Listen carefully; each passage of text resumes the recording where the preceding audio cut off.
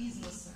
И этим занимается, собственно, заседание, проводимое там э, товарищами из Сколково на всех вот этих вот рабочих группах, большая часть которых проводится здесь, в оси.кипеть. Это группа, на которую приходит бизнес и говорит, ребят, я там аграрий, мне для того, чтобы двинуться дальше, продвигать свой бизнес, продавать товар, надо решить вот это административный барьер. Как решить? Внести изменения в текущее законодательство.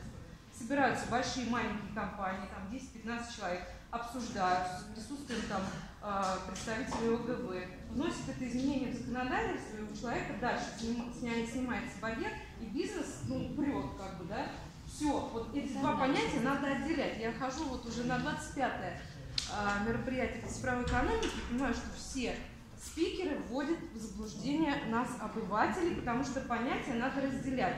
Одно дело, я, хотя я представитель как бы IT-компании, да, да, интегратора. Я немножко поправлю, смотрите, но... давайте еще раз изначально цель сегодняшнего мероприятия. Я посмотрела на состав, я посмотрела на состав аудитории зарегистрированной. И если вот вы хорошо понимаете в терминологии и умеете разделять, что такое государственное регулирование и социальная составляющая цифровой экономики, и какие там происходят движения, в том числе как раз центры компетенции для этого созданы.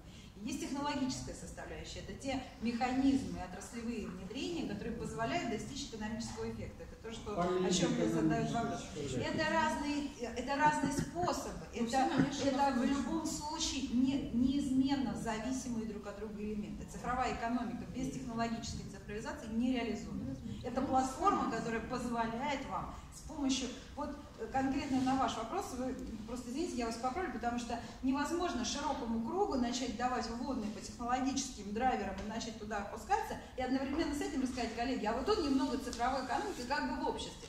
Это общая система, она взаимосвязана. Это так же, как сейчас вы экономику делите на отраслевые составляющие, сельское ну хозяйство, медицина, образование, наука.